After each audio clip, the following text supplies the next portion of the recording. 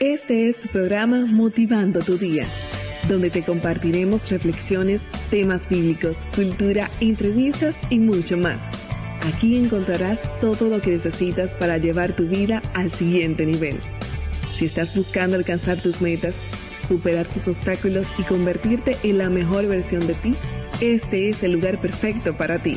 Así que no te pierdas motivando tu día a través de Neutral FM. Hola, buenos días, buenas tardes y buenas noches. Bienvenido a tu programa Motivando tu Día con Jessica Leonardo. Para mí es un grato placer estar compartiendo contigo desde donde eh, te encuentres y espero en el Señor que sea con tu vida, con tu familia, con todos tus allegados y desde ya te invito también a que compartas con tus allegados acerca de este programa que vamos a estar compartiendo del contenido del día de hoy para que no solamente tú te seas bendecido, también bendice a otros personas a través de la palabra del Señor que compartimos en este programa. Vamos a dar inicio a este momento presentando al Señor que nos habla a través de su palabra y luego que entonces oremos estaremos compartiendo algunos tips de comunicación y consejos para nosotros poder utilizarlo en el trabajo que Muchas veces tenemos que hacernos fuerte, tenemos que buscar la manera de saber comunicarnos con los demás y luego de eso estaremos viendo el tema central que es acerca de no te detengas. Y vamos a ver más detalles luego de la oración. Vamos a inclinar nuestro rostro si puedes hacerlo desde donde te encuentres. Padre Celestial, te damos las gracias por tu amor, tu misericordia, tu grandeza que le extiendes en nuestras vidas, Dios. Reconocemos, Señor, que tú eres nuestro sustento, nuestro ayudador, nuestro amigo fiel, nuestra esperanza. Jehová, y nuestra vida solamente tiene sentido en ti, Señor. Gracias, Padre, porque si hasta el día de hoy hemos llegado, que podemos compartir tu palabra, es porque tú lo has permitido, Señor. ¿Y cómo no agradecer tu bondad y tu misericordia para con nuestras vidas. Dirígeme, Señor, en este momento y habla a cada corazón, Señor, que está pendiente a este programa. Declaramos un programa de victoria, un programa de edificación para cada vida. En el nombre poderoso de Jesús. Amén y amén. Como les había dicho, vamos a estar compartiendo algunos consejos de comunicación que podemos utilizar en el trabajo. Claro, esto que voy a compartir lo podemos utilizar en cualquier ámbito de nuestras vidas, pero esta vez vamos a enfocarlo en el trabajo. ¿Cuántas veces nos ha pasado que queremos comunicar algo, queremos decirle algo a algún compañero, pero el otro compañero nos malinterpreta? O, en dado caso, no entendió lo que dijimos o puede ser que faltó información en ese correo que nosotros enviamos. Pues entonces aquí vamos a estar viendo algunos consejos que te pueden ayudar a cada día poder dar una buena comunicación, poder tener una buena comunicación efectiva con las demás personas para que nos demos a entender y también poder entender a los demás. Y vamos a dar tres consejos, sí, tres consejos sencillos que en la práctica nos lo vamos a aprender y vamos a ver cómo nos puede ayudar. El primero de esto es que apunte a la claridad. Jessica, ¿cómo que apunte a la claridad? Claro, es importante que cuando vayamos a comunicarnos, sea por Teams, sea por, la, por correo, sea por una carta, que no, no es que se usa tanto, sea por por un chat de, digamos, de un grupo del trabajo, sea con algún compañero físicamente, siempre es bueno apuntar o, o dirigirnos hacia la claridad. Buscar la manera de que el mensaje que estamos comunicando sea claro. Por ejemplo, vamos a pautar una reunión para, para mañana en la tarde. Pues entonces yo voy a colocar en el correo, separo eh, buenas tardes equipo, separo este espacio para hablar acerca de tal tema. Y colocamos la hora, colocamos el día. Hay algunos que, dependiendo del tipo de reunión, puede que diga qué tiempo va a durar la reunión. Por igual puede decir cuáles son los demás tópicos de qué lo que se va a hablar. Puede decir que habrá una sesión de, de comentarios, como algunas para, para responder algunas inquietudes. Todo eso va a depender del tipo de reunión. Ese es un ejemplo, pero hay veces que tenemos que enviar un correo con alguna información, ya sea para solicitar o para proveerle a alguien esa información. Y en caso de que sea que vamos a solicitar, tenemos que especificar en el asunto, tenemos que poner el tema, lo que algo que sea claro, que cuando la persona lo abra entienda de qué trata el correo. Si tú tienes que especificar que sea una fecha límite, pues puedes colocar la fecha límite, siempre y cuando sea lo más claro posible será mejor, porque así nos vamos a entender. Sea donde quiera que a través de cualquier medio de comunicación que vayamos a hacerlo, procure la manera de poder transmitir todo de manera clara. Puede que al principio no te salga, pero después, a medida que vamos practicando, tú verás que me vas a decir, Jessica, tenías razón. El segundo punto que quiero compartir con ustedes dice aquí, procura resolver conflictos, no crearlos. Ay Dios, cuántas personas a veces ¿no? Porque tengo este problema con, estas, con este documento, pero es que tú tienes el problema, tiene problema, pero a veces solamente buscamos el problema o mencionamos el problema, pero no buscamos la solución. Siempre es bueno que cuando tengamos ese problema, analizar lo que estamos viendo, el problema, que es lo principal, ¿verdad? Y luego decir, ¿qué yo puedo hacer para resolucionarlo? Para cuando yo vaya, por ejemplo, donde mi líder eh, o que vaya, vaya a la reunión o que vaya a compartirlo con algún compañero. Buscar la manera de no solamente ver el problema, sino también traer la solución o buscar la manera de que se pueda quedar más claro. Porque hay veces que el problema no se puede resolver de una vez, pero si se queda más claro, si se llevan los puntos de que cada quien va a investigar, eso será mucho mejor porque nos va a permitir poder seguir abriéndonos camino en la comunicación y al final podremos obtener la solución de lo que estamos enfrentando. Y por último, tengo aquí, se, se produce en ambas direcciones.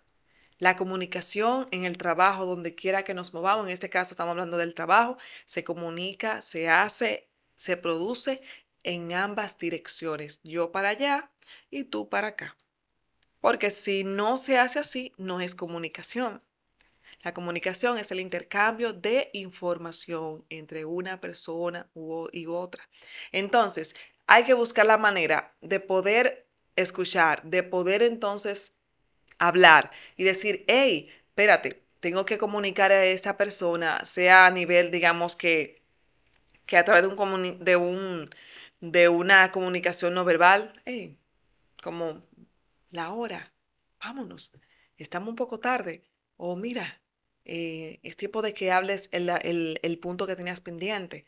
Como que las personas nos podamos buscar la manera de poder hacer que esa comunicación fluya de manera de ambas direcciones. Es decir, de que la comunicación tiene que buscar la manera de que yo hablo, tú hablas, en tú escuchas. Tú hablas, en un momento yo escucho. Y esto puede ayudarnos también a que en cada situación que tengamos en el trabajo nos permita a nosotros poder interactuar con los demás y buscar diferentes perspectivas. Así que en cualquier momento que alguien te hable, que te diga algo en relación, no podemos quedarnos callados, yo no sé, o tal cosa. Vamos a buscar la manera de buscar la solución, tener otra, otra, otra forma de nosotros poder llegar a lo que nosotros estábamos buscando, porque al final somos un equipo, nadie puede alar para su lado. Al final somos un equipo en el trabajo donde te encuentres, siempre vamos a tener que buscar manera de tener esa comunicación que sea bidireccional.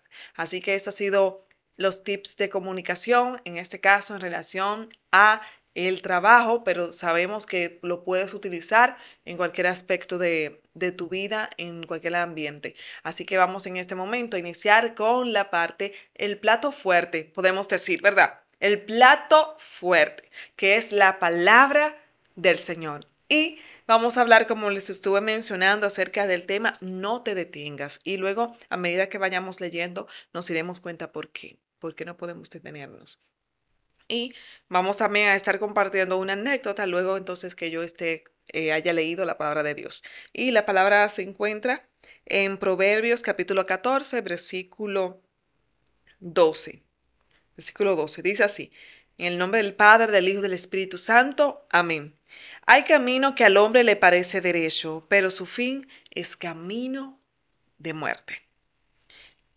Hay camino que al hombre le parece derecho, pero su fin es camino de muerte. Amén. Damos gracias al Señor por su palabra y le pedimos que sea el que nos dirija y que hable nuestras vidas a través de ella. Algo que también quiero mencionar acerca de, de Proverbios, que hay otras referencias y nosotros podemos buscar en la Biblia, vamos a encontrar algunas a veces referencias dentro o debajo del versículo que nos menciona alguna otra cita bíblica que nos puede ayudar a poder como enlazar lo que estuvimos leyendo. Y vamos a ver también a leer el 16.25. 16.25 dice aquí, pero Jehová asolará la casa de los soberbios, pero, la, pero afirmará la heredad de la viuda. El camino de la vida es hacia arriba, hacia arriba al entendido, para apartarse del Seol bajo. Entonces, vemos aquí que al principio dice que hay caminos que al hombre le parece derecho. Muchas veces nosotros pensamos que en la dirección en la que vamos es la correcta, porque esa es la que me conviene, porque esa es la que yo necesito porque es lo que ven mis ojos. Pero muchas veces no es así. Tenemos que buscar la manera de poder buscar la dirección del Señor. Señor, yo quiero iniciar en esta universidad o necesito este empleo, pero me va a quitar el tiempo que te pertenece o voy a hacer lo correcto con lo que esté haciendo.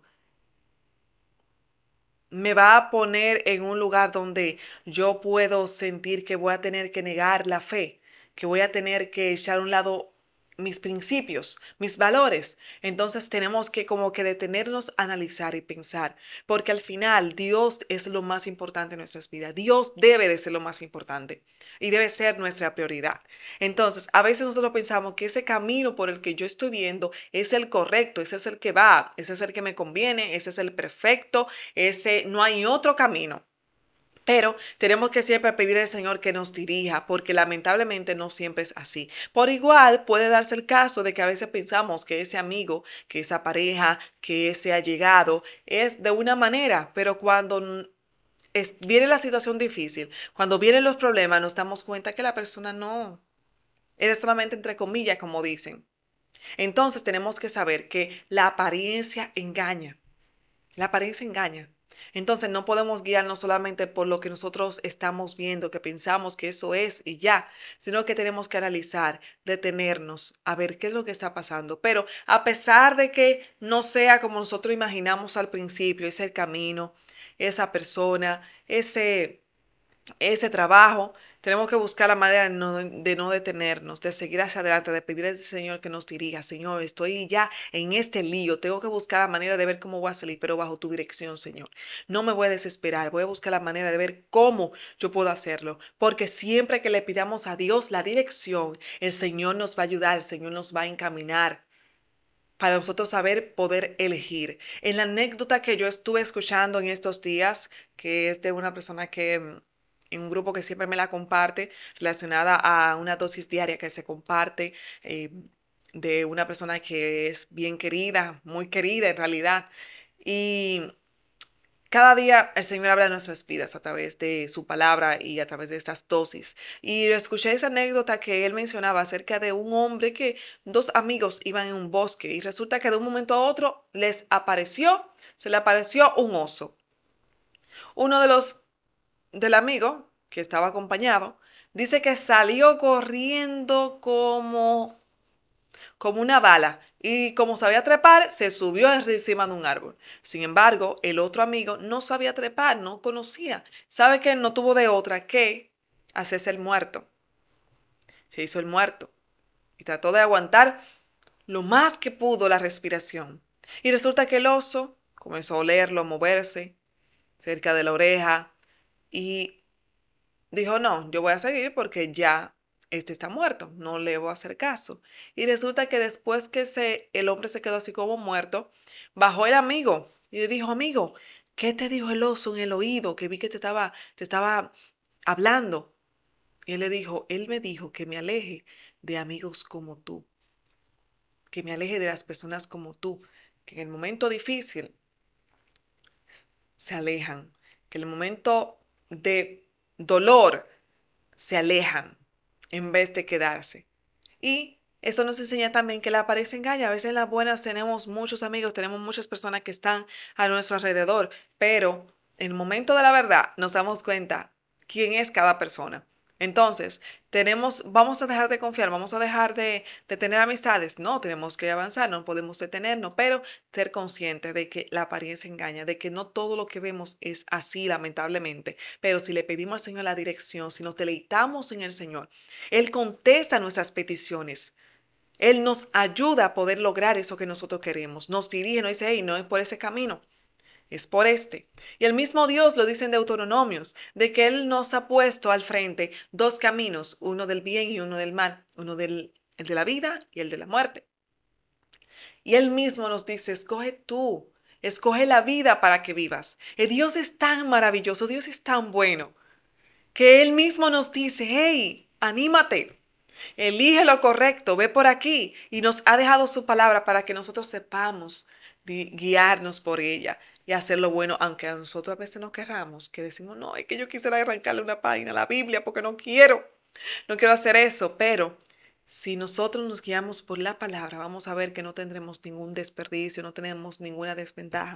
Siempre será ventaja, siempre será algo a nuestro favor. Así que te insto a que no te detengas, a que confíes en el Señor. Si caíste, si fuiste engañado por lo que pensabas, lo que vieron tus ojos, déjame decirte, no te detengas. En Dios hay esperanza. Puedes cambiar.